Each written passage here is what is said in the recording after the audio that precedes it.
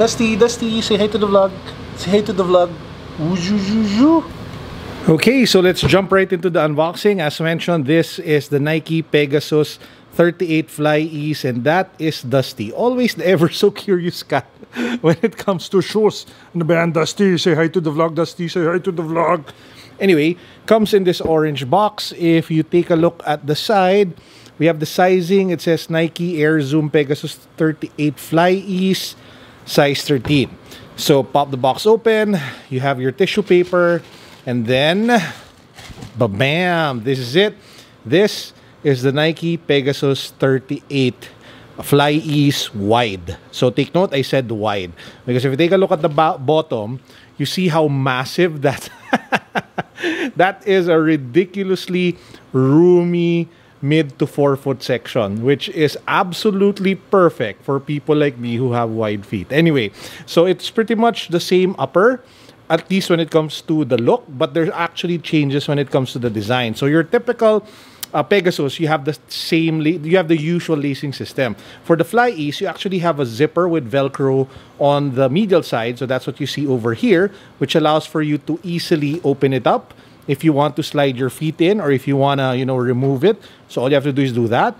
On the other side as well, you have this Velcro that you can use to tighten or loosen the shoe. So you know, very simple, very easy to wear. So what we'll do now is I'll put the sneakers on feet and then I will share with you my impressions of the overall experience. So there's only one thing I can say about the Nike Pegasus 38 wide fly ease. Where have you been all my life? Oh my God, this is the most comfortable, stable, Nike shoe I have ever bought and worn. And that is not an exaggeration. But again, please do take note, I have wide feet. The, the forefoot section, the middle part till the end of my toes is a bit wider. No? So, so this one gives it more room, it gives it more breathability, it gives it more space without compromising the overall stability and structure of the shoe.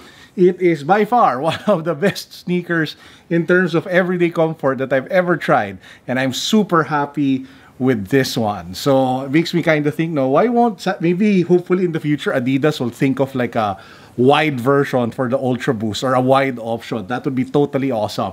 But this one as it is, OMG, guys. If you it, it is a ridiculously awesome shoe, especially given the time we're in we're in shoes apart from being like you know workout wear. They also function as our lounge wear slash you know you need to go out quickly wear kind of thing. So this one is easy to put on is easy to put off. It's the perfect travel shoe in my opinion when we finally get to travel again.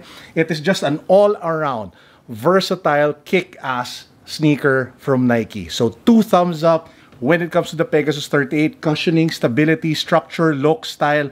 For me easily 9.5 out of 10. Now, before we end the vlog, guys, I just have one more gadget or one more item that I want to show you. This is from our friends DG Gadgets. So I get a lot of my Apple products from them, especially if I want it early. so this is the new Apple AirTag. So if you guys are wondering what the Apple AirTag is all about, uh, this one is like a Bluetooth connected tile-like device which allows for you to track wherever it is that you put it on. So you can put this on a keychain and put it on your bag, put it in your wallet, put it in, you know, like your clutch bag or your briefcase or whatever it is that you want to easily find, maybe even your camera.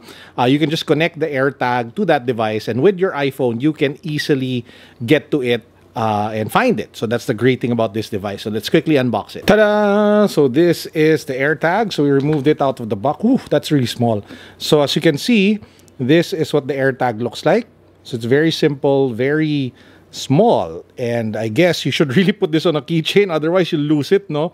And then you put it on whatever item it is that you want it to you know to track. So let, let's try to test it. So I tried setting it up. Unfortunately it requires me to do a software update. So I have to download this update first but it shouldn't take a while. So yeah three minutes remaining. So let's just wait for it. So we set it up already with the phone after updating. So you can actually name it whatever like wallet or bag or something and now it's telling me what are the features. So precision finding, play sound, and then directions in maps using the find view in Find My app. That wraps up our vlog for today. In case you haven't yet, please do give this video a thumbs up. Don't forget to subscribe to the channel and make sure to check out Unbox Green Hills at Instagram. That's our sneaker and toy shop that's opening in June because we are doing weekly giveaways. So we gave away a 10-inch LeBron Funko Pop. Right now, we're giving away NBA cards.